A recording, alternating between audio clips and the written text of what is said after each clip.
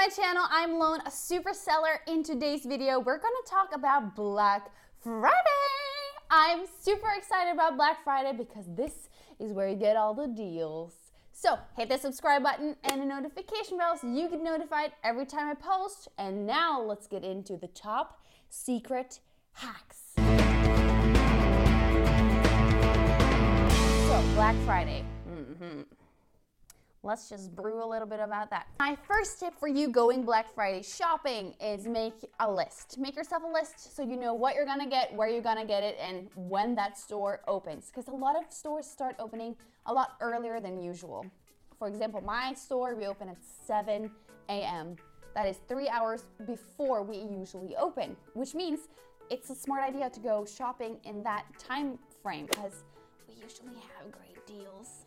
Not spoiler anything, but a lot of stores do, and also a lot of stores are open late, so could be smart going late as well. Also, making a list is a great way for you to stay organized and stay on track because if not, you're gonna end up buying two gifts for dad and none for mom, and mom's gonna get super upset. So make sure that you stay on track knowing who got what gift where. It's a really good idea to go a week ahead and see if they have that item, ask if they can hold it for you so you can get it on Black Friday. If they can't, make sure you know take a note of where it is in the store. Sometimes stores do reorganize, but at least seeing that they have your products and where they're placed.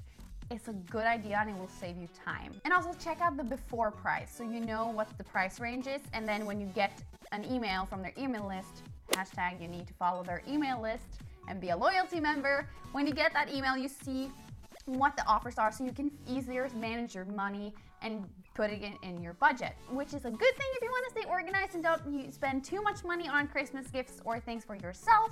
However, that is a personal thing you decide on your own, but making a list and staying organized. The second hack I have for you is look at the return and exchange policies.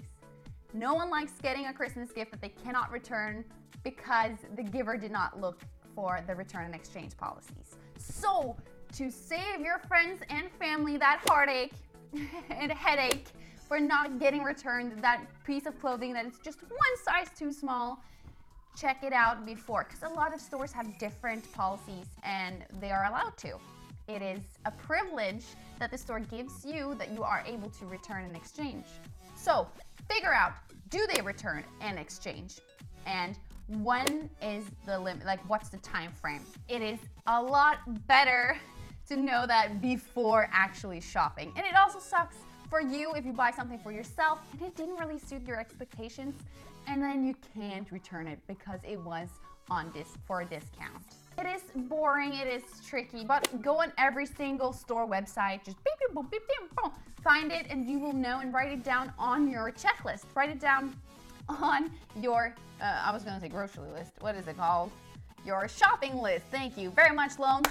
Okay, your shopping list.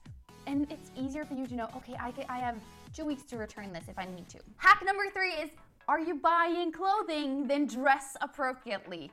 Because this is not the day that you should prioritize looking glam and fabulous. This is the day where you walk out in a big, big sweater and loose fitting pants and just easy things.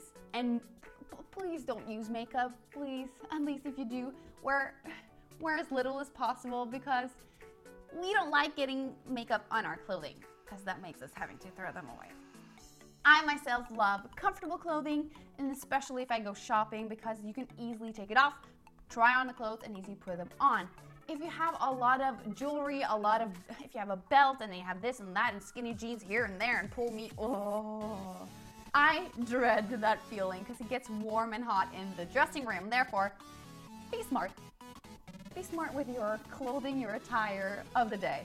My fourth hack is to sign up for their email list. This is because becoming a loyalty member at any store is a smart idea right before Christmas and Black Friday. The reason is that some stores tend to give out special discounts and special offers to their loyalty members before the actual day. And some tend to give extra discounts or a gift card or any extra benefit to loyalty members. So, signing up to become a loyalty member is a good idea for you, especially if you think about bulk shopping on Black Friday.